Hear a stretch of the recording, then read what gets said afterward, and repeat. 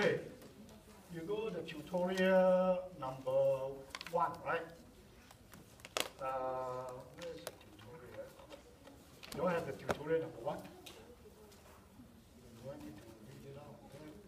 Tutorial, tutorial, tutorial.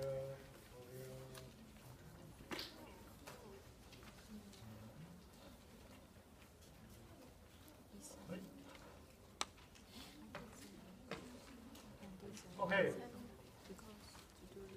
Uh, I have only two, two questions in this exercise. Huh?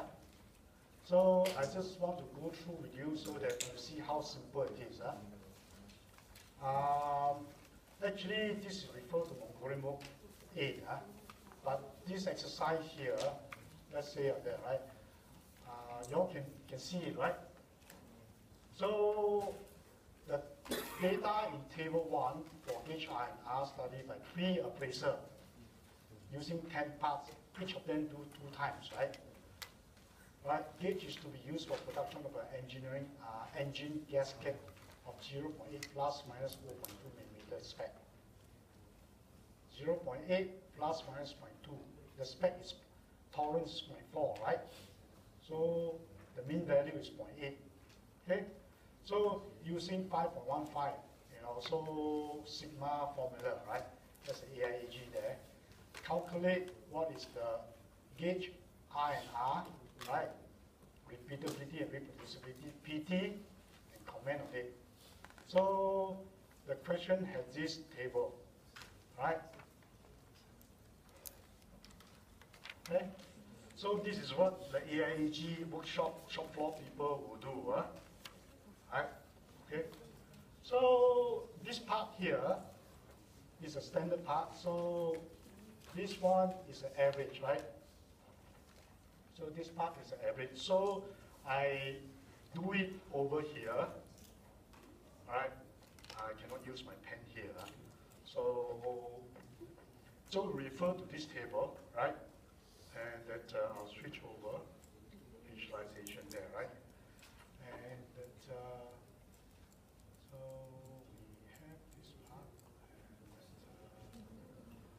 so you refer to your gauge I and R, your, all the formula, right, equation. Okay. So I, I type in the average of these two together, give you this one, right? And then the range is maximum minus minimum is always, range is always absolute value, right? So it's always this thing here. So you can get this thing here, right, and take the average of this one is over here, right? So this number. And the average of the range is over here. Same, you repeat it over this guy, and then you get this one here. You repeat the same thing, you get this part here. And then remember, right, we have three operator. So we want to look at the part-to-part right? And we'll take the average of this guy, this guy, this guy, and then take it average over here. So this one is an average of the respective two this thing here to get the average, right? So we'll refer back to our equations here, right? Remember this this few part here, very important, right? Then subsequently you say that okay, you want to get the repeatability, we, we, we will try to get this part here, right? Okay? So it's a grand range, right? You get a mean of range already, like a grand range divided by D2, right? So D2, we assume that, you know, you have 10 parts, 3 operator, so it's quite a lot, right? So it's 30 over parts, right? So we can use D2, right? So in this case here, right? So if we refer to this table here, right? So what is our subgroup size? So for this exercise, this part here, right, referring to this, this thing here, this part here. So we have 10 parts, three operator. So three operators. So what is our sample size? Our sample size is 2, right? Our subgroup, number of subgroup is 30, right? Right? So remember this guy here?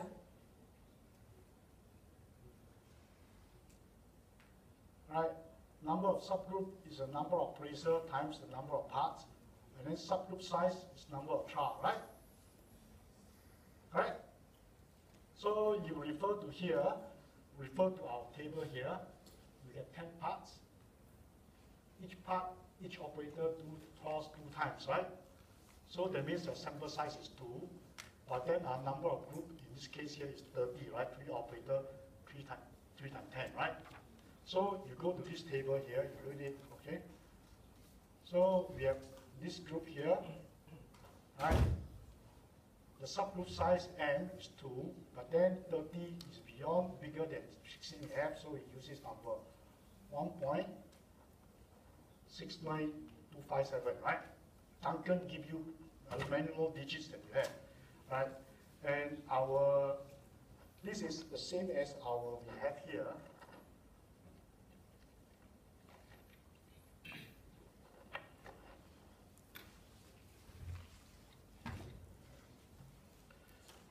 right? Subgroup size equals to 1.263 point, sorry, uh, this is D2, right? D2 is subgroup size 0 point, 1.128, right? So in this case here is 1.12838, right? You see, in this Montgomery one, it give you up to three decimal point. But Duncan one, oh, one point, one two eight three eight. More, more, more, more decimal point, yeah. okay? So you got it? Okay? So you, you do that, right? So you come back to here, right? So from here, right? What is our average range?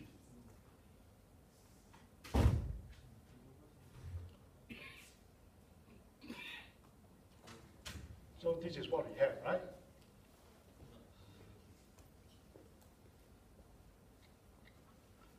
So it will be our 0. Point, in this case here, 0 0.45 plus 0 0.45 plus 0 0.25, right? It come to here, this column here, and divided by 3, right? And 7, correct? So that's why I want you all to look at this part here. Okay. Now, I, I, I just verbally go through, uh, you all, you all know what's, main thing understand the principle, right? So this guy here, right? This is this number here. Sorry. R double R bar ah, divided by D2, right? Our D2 is 1.12838, right? This guy here, okay? Right? Okay, sample size 2 is a big number, right? Okay, so you take this one, you divide out, you get the repeatability. Okay, so your repeatability in this case here is 0 0.038, right? Where my cross is. Okay? Got it? So it's very mechanical. Once you know it, it's very mechanical. Now, then what you want is that on this part here, the first equation here is an estimator, right? It's an estimate of sigma reproducibility. It's R of the mean, right? Range divided by D2 asterisk. Now, D2 asterisk, what it is? In this group here, right, you will refer to this guy here, right, reproducibility, right, is that only one subgroup, the subgroup size is number of appraiser. Number of appraiser. So how many appraiser we have? In this case, three, but we have only one subgroup. So if you look at that, we have only number of subgroup is only one, right? So we are looking at here. But our appraiser tree, so we are looking at this number. Okay?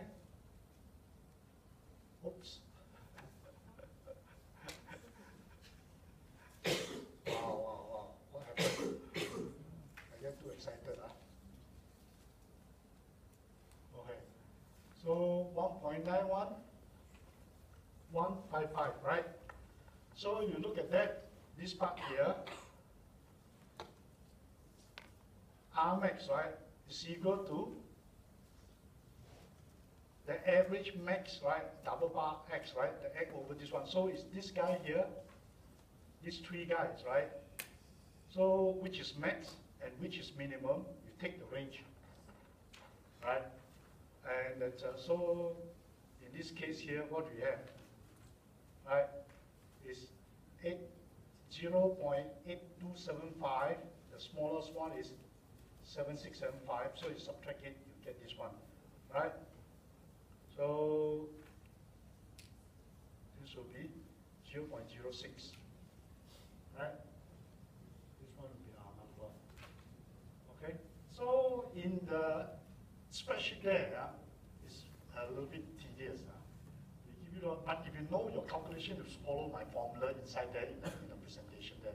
You just plug it in, then you get it already, right? So then, you know that this guy here, the upper spec limit, lower spec limit, these are things there. So D4, if it's not, if our R chart control chart, what it is, we have a, in our case, our overall grand R is the average of all the three already, right? And then divide by three, right? So, and then in this case here, what is our D4?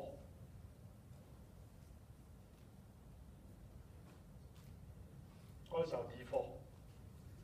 D4 is based on the number of trials you have, right? For the R chart. And remember this R chart? This R chart? This is the R chart, right? Right? This is the, the sorry, this is the, uh, this is the R chart that you want to do, right? So it's trial two there, right? So trial two, what is our D4 read from? D4 read from here. Then you go back to our control chart, right?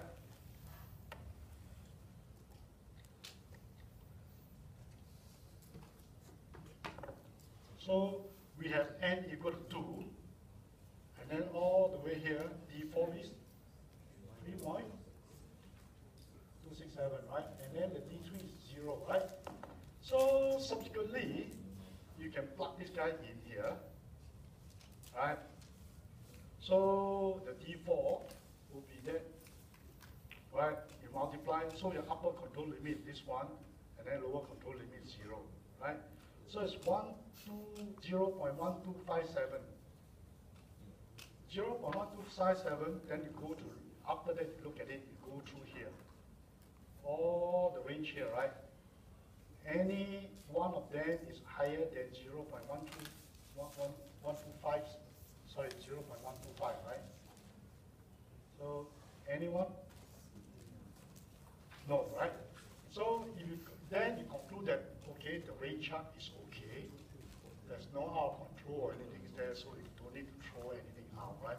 If the range chart's not okay, you throw out, that means you throw, out the the unit, uh, respectively, all the rest, right? So throw it out, right? So if you have that, all this ready already, then the rest there will be simple, right? You calculate this guy here, the proximity of this, this thing for this already. Then you substitute this thing here, and then this guy divided by the number of parts and trial here. And then square root of that, get bingo, the number. Right, so I, I'll scroll over to this side here, right? So you want to go through that, I think it's very mechanical. No, Nothing, nothing tricky there, right? So,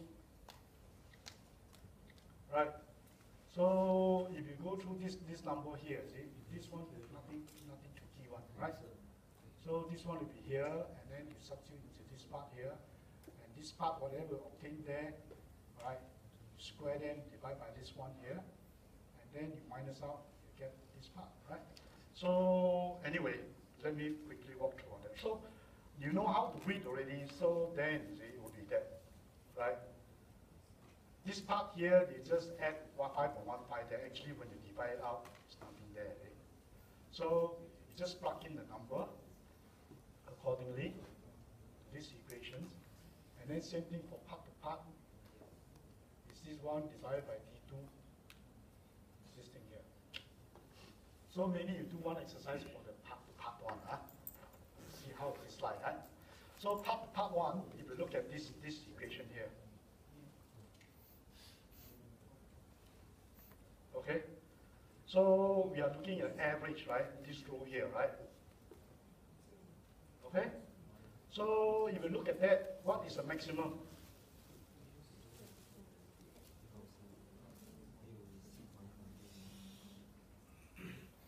4.107, right? If I, if I, if I write it down first, huh? 4.107.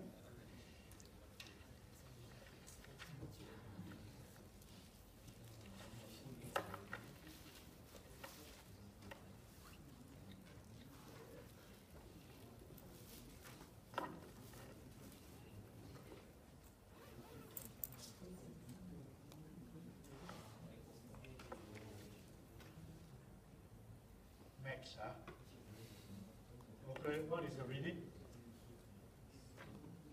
One point. What is the max reading from the part average? 1.017, right? What is the minimum one? Minimum value? 458, right? Correct? Got it?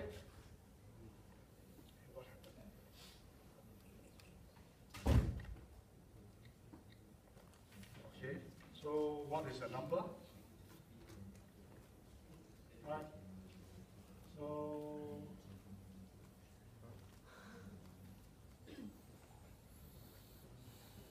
The range value, right?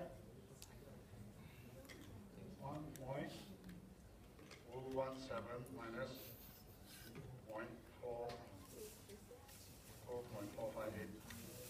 Zero point five five eight, right? So this guy here, zero point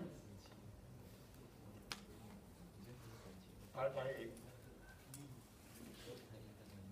Right, five five nine around there, huh? You round it up, to five five eight, five five nine, around there, right? Five five five five nine, huh?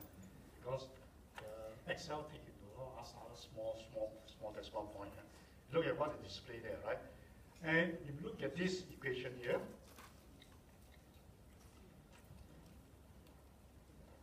Okay, so we have this part to part is D2, right? D2 asterisk.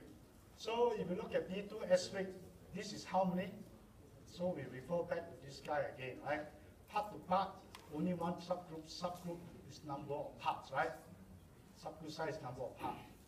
So if based on this table, right, you can refer to here, there, here, here is what I, I extracted it out, right? But if you refer to this table here, we have only subgroup G, right? There's only one group, so it is this column, right?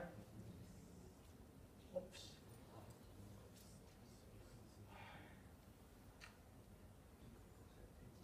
Anyway, so it's this column, and then you have only ten, right? So let's refer to the other slide, huh? So I extract it out. Ten is this guy here, right? So subgroup size is ten part, ten part is what it is, three point one seven nine, right? Three point one seven nine, right? 3.179 something, what else? 3.17905. Right? So you based on this equation here, our sigma part to part equal to 0 0.559 over 3.17905. Right? You just get it. Okay?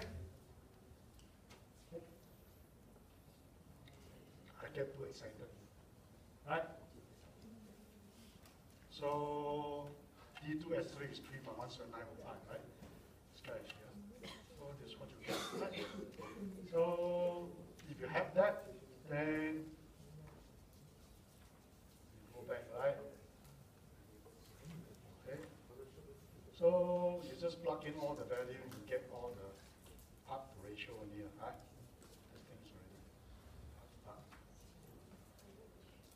Right? So? So this one is very mechanical. Right? So it's like this exercise we go through, right? And that, uh, then to part. Okay? Right? It's getting this one, and then, you know, the value is slightly different, right? So this, you go through this equation here, right? You get what it is total, something, and then from there calculate, right?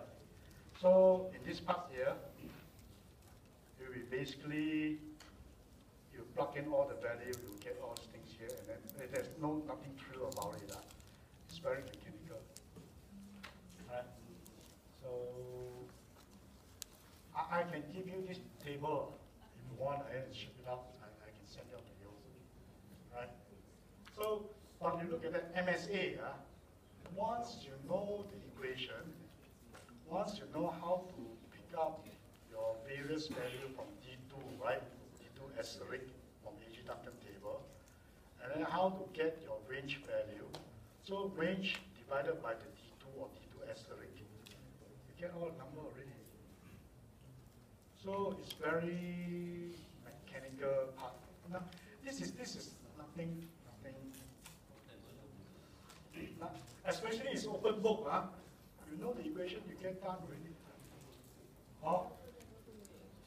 So no true lah, no true lah. This thing no true. Okay. Um. So questions number two. ah.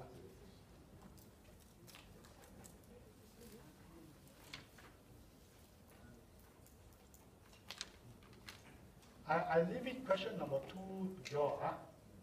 This is, this is, this is the same. It's just you, you select, if you know how to select from the table, the D2 X ring, right? And that, uh, can't go wrong.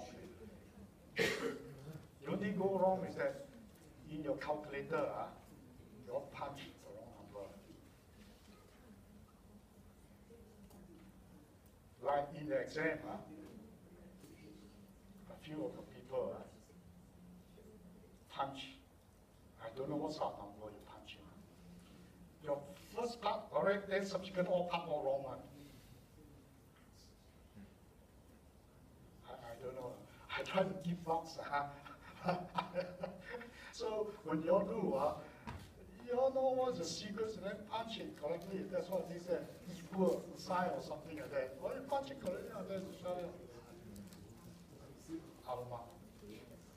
Okay, so we'll have a break on this one, so we'll continue with the next chapter uh, right after the break. So 7.30 we start. Huh?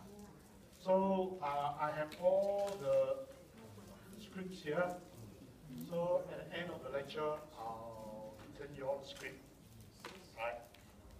And that, uh, we'll see how. Uh, okay. And also next week, next Wednesday, very, very coincidental, Deepavali, right? Huh? So we don't have class.